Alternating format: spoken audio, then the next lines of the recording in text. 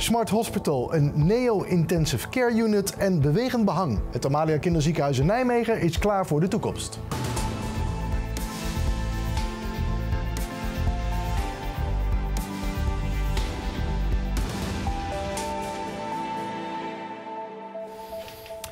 Het Amalia Kinderziekenhuis in Nijmegen is donderdagmiddag feestelijk heropend. Het ziekenhuis heeft de afgelopen tijd een renovatie ondergaan en is momenteel weer helemaal klaar voor de toekomst. Zoals ze zelf zeggen, je komt er liever niet, maar als het dan toch moet, wordt er goed voor je gezorgd. Ja, wij uh, hebben een feestje in het uh, Radboud UMC Amalia Kinderziekenhuis.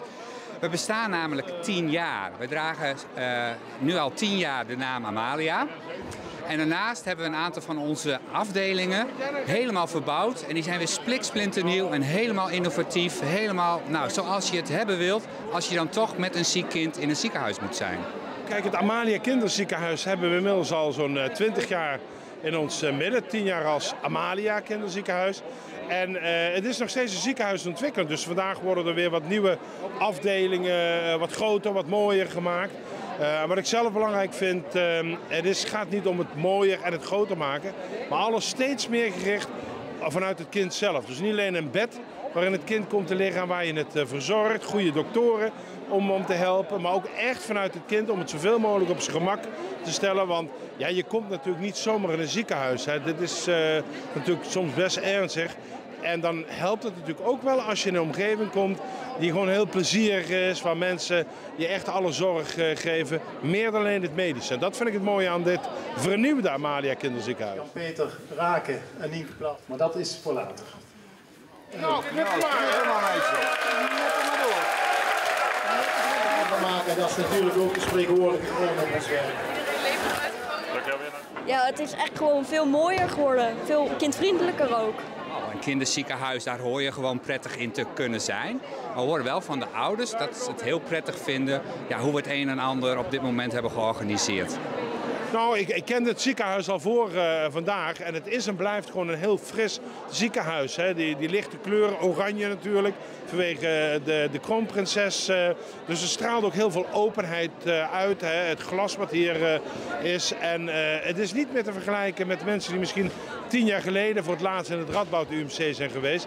Het ziekenhuis is echt op een andere manier en laat daarmee ook zien hoe we zorg tegenwoordig veel meer laten zijn dat mensen naar het ziekenhuis komen, in een bed leggen, opereren, iets doen en dan hopelijk een keer weer naar huis uh, uh, gaan. Alles is nu eigenlijk gericht het zo aangenaam mogelijk doen en eigenlijk ook zo kort mogelijk, hè, zodat je zo snel mogelijk weer uh, thuis in je normale leven kan, kan verder gaan met je leven, met je herstel.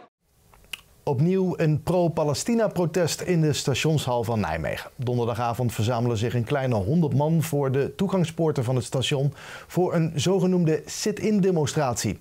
Ook dit keer was het doel om aandacht te vragen voor de situatie in Gaza. Waarom voel je je betrokken bij deze demonstratie? Ik heb persoonlijk um, was ik al actief in activisme.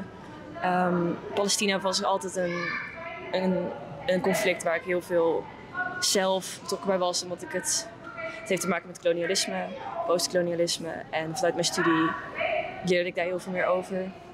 Dus uh, ja, intellectueel had ik al wel wat interesse, maar uh, afgelopen paar weken heb ik uh, Palestijnse mensen ontmoet uit Nijmegen en werd het veel persoonlijker en emotioneler.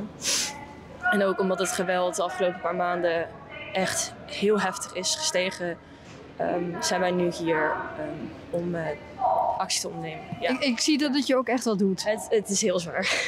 Kijk, het, het, enige wat we hier proberen te doen, en dat proberen we ook te doen, is uh, mensen te betrekken die hier nog geen kennis van hebben, die nog niet begrijpen wat er aan de hand is, die allemaal te horen krijgen, oh het is ingewikkeld, en daarom ook niet proberen of niet durven op te spreken. Dus ik sta hier ook om die mensen te betrekken.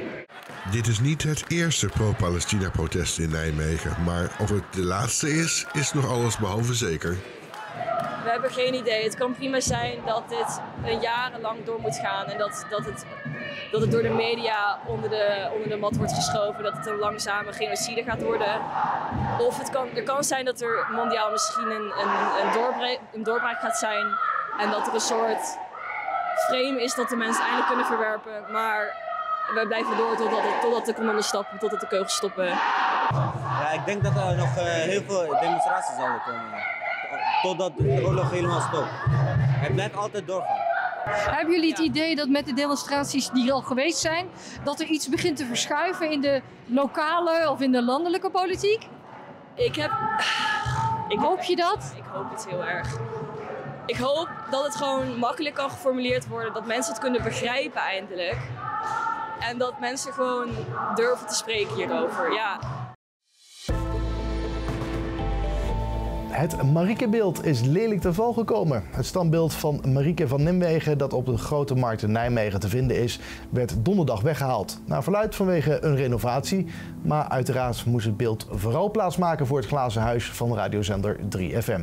De opbouw hiervan begint aanstaande maandag. Toen het Mariekebeeld hangend aan kabels op een oplegger werd getild, schoot ze plotseling los. Het beeld maakte met sokkel en al een lelijke val op de grond. Wat de schade is, is niet bekend.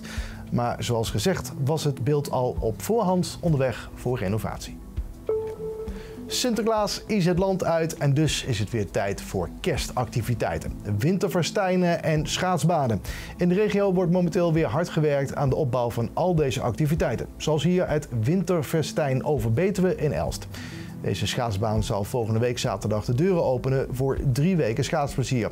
Uiteraard zijn er in de regio nog veel meer schaatsevenementen in de komende tijd. Zo vindt in dezelfde periode ook Wiegen schaatsplaats in Wiegen en Wintervillage in Druten gaat morgen al van start.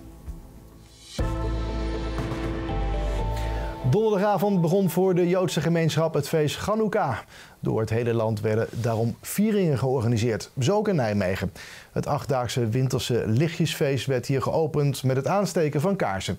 De eerste kaars werd aangestoken door de burgemeester. Kijk, de, de oorlogsgebeurtenis in, uh, in Gaza hebben natuurlijk wel een enorm effect, uh, ook in, in, ons land. Ik moet zeggen dat in Nijmegen de discussies er ook wel zijn, maar iedereen heeft zich dusver wel respectvol gedragen. Maar in de Joodse gemeenschap is het natuurlijk heel hard aankomen. Mensen hebben ook vaak familieleden, bekenden in, in Israël wonen en zijn natuurlijk uitermate bezorgd. Maar voor mij was voorkomen helder, die Hanukkah-viering gaat gewoon, gewoon door.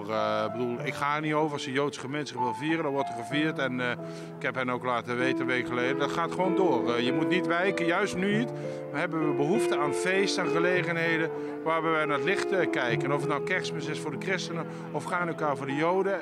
ieder heeft zijn eigen feest, maar met dezelfde boodschap. We willen hoop, we willen betere tijden en we willen goed met elkaar omgaan. Ik heb er ook wel vertrouwen op dat de, de, meeste mensen hier respecteren dat een feest als dit gegeven wordt. Tot we dat op de markt doen. We staan hier al ruim tien jaar.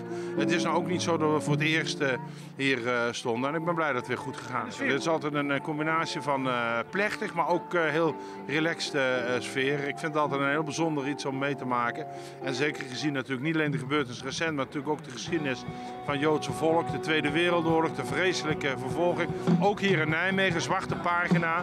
Ja, dat is symboliek dat je dan midden in de stad laat zien dat de Joodse gemeenschap er nog steeds is. Dat is de kracht van Hanukkah midden op de markt in Nijmegen. Maar er was wel onrust bij de mensen en heeft ook de burgemeester bedankt voor de veiligheid die hier geboden wordt. Natuurlijk uh, moeten wij altijd over veiligheid uh, hebben. Niet alleen als het Joodse evenement. Ieder evenement in de stad tegenwoordig helaas moet veiligheid hebben. Wij wensen iedereen een, vrolijke Chanukah. En uh, is de, de, de, feest van licht en van de boodschap van positiviteit en, en, en, en vrede. De een vindt het een verrijking van de stad en de ander spreekt daar zijn afschuw over uit. Graffiti in de openbare ruimte is natuurlijk ook niet altijd even mooi en zeker niet altijd toegestaan. Om ondernemers wiens panden zijn beklad een handje te helpen, start de gemeente Nijmegen nu een grote schoonmaakactie gericht op deze straatkunst. Uh, graffiti overal. Hè. Het is een verloedering van, uh, van de binnenstad en vaak op panden waar je het gewoon niet wilt. Hè. Iedereen die de stad binnenkomt, die ziet die vieze, smerige panden, zeg maar. En ja, daar willen we gewoon vanaf. Het moet gewoon aantrekkelijk zijn om in de binnenstad te komen. En we gaan nu de komende maanden hè, proberen, er komt een meldpunt, komt er. Kunnen mensen melden van, of, of de graffiti ergens aanwezig is. En er komt een schouw, dan gaan mensen van ons door de stad heen lopen om te kijken van wat zijn echt plekken waar we graffiti willen verwijderen. Dan gaan we met ondernemers of zo in in contact waar het op die panden aanwezig is. En als die opdracht geven om het te verwijderen, dan gaan we het zo snel mogelijk verwijderen. De pandeigenaren zijn niet blij met deze straatkunst. Uh, vooral van de tags. Dat vind ik echt jammer dat dat op de muren staat. Vind ik zonde van de, van de muren, van het aanzicht. Dus uh, ja, ik ben blij dat dat, dat verwijderd gaat worden. De graffiti is lastig te verwijderen. Daarom kunnen pandeigenaren het vaak niet zelf doen. Ja, dat heb ik wel geprobeerd. Maar ja, ik kan het nu bijna niet meer zien. Maar dat lukte niet helemaal goed. En uh, ja, ik hoop dat door deze professionele manier het wel beter gaat, gaat lukken. Ook de wethouder steekt zijn handen uit de mouwen. Nou, ik ga zelf uh, het, uh, de eerste keer uh, het graffiti verwijderen. Ik heb het net heb ik het, in de oploslaag gezet en dan ga ik hem nu dadelijk de gevel ga ik, schoonspuiten als, als voorbeeld zeg maar, voor hoe we hopelijk de hele stad gaan krijgen. We hebben hele aantrekkelijke tarieven zijn daarvoor uh, ontwikkeld, zijn maar echt laagdrempelig. Dus uh, tot 1 vierkante meter. Hè. Dus als er iemand snel voorbij is komen rennen, die heeft een tag bij jou op de gevel gezet, dan wordt die gratis uh, verwijderd. Ja. En daarboven tussen de 22 vierkante meter betalen ze 180 euro of 185 euro. Dus dat is nog wel te overzien voor een ondernemer. De koude lucht trekt zich verder het land uit en dat wisselt zich in voor een natter weerbeeld. Vandaag was het nog grotendeels droog onder een dik pak bewolking. Maar morgen gaat er zeker meer neerslag vallen. In de loop van de ochtend krijgen we met een neerslaggebied te maken waar uiteindelijk zo'n 12 mm regen uit kan vallen. In de avond trekt dit gebied weer weg richting het oosten. De zondag zal aanzienlijk droger verlopen. Alleen in de ochtend is er kans op wat regen. Maar verder verloopt de dag winderig en bewolkt. Het weer voor de nieuwe week is nog wat onzeker. Wel wordt verwacht dat verderop in de week het koudere decemberweer weer terugkomt. En tot zover het RN7 regio nieuws van vrijdag 8 december. Nu op RN7 kun je weer kijken naar een nieuwe NEC-update in aanloop naar de wedstrijd van morgenavond tegen PEC Zwolle. En maandag zijn we weer bij je terug met een nieuwe uitzending. Dus een heel fijn weekend en graag tot dan.